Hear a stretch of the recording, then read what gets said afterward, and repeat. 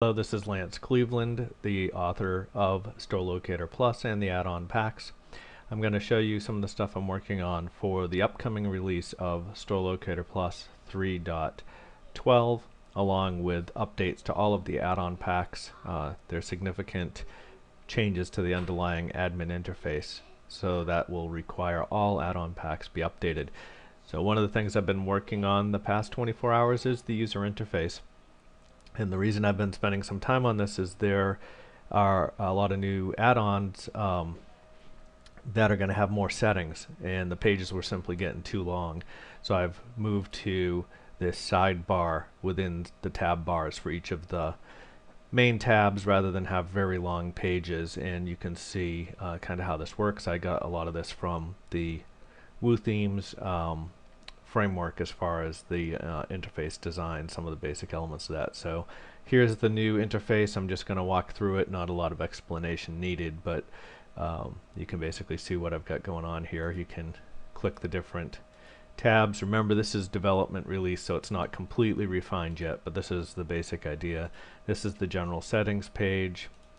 Add locations basically the same um, just a little bit tighter UI, less padding and that sort of stuff in a few places. Fit more stuff on there. Manage locations pretty much unchanged. Map settings um, really takes advantage of this now. Rather than have a really long page with map and results and search form settings, we've got um, a tab for each one. And you can see that this is just the map settings, here's the result settings and so on. So this has been propagated over to the add-on packs as well with um, this is a new lookup tool so I can look up an address. This does not add it to the database.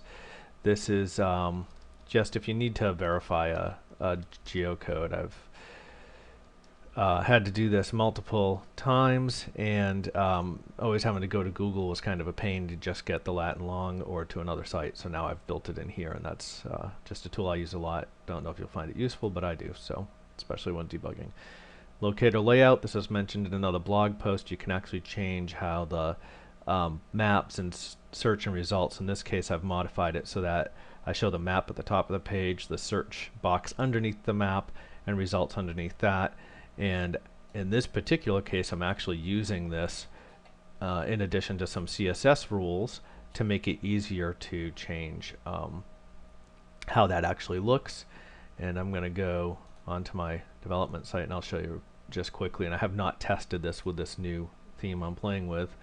Um, but you can see here's the map on the left, search on the right, and that's just CSS styling. Move the search and results from here um, to the right of the map from down below. So you can see here I can um, search for stuff nearby and it should appear. Oh, that doesn't have any matches but um, I've been playing with the data so anyway there's um, results that will come up below here when it does find some so um,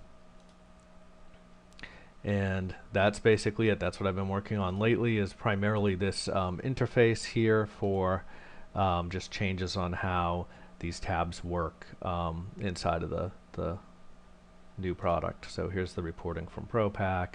You can see everything's got this um, sidebar here instead of having very long uh, settings panels. So that's it. That's what I've been doing. And I'll uh, post this on the blog and uh, continue to work towards the 3.12 uh, Uh, upgrade as well as upgrades for all the add-on packs. Have a good one. Bye.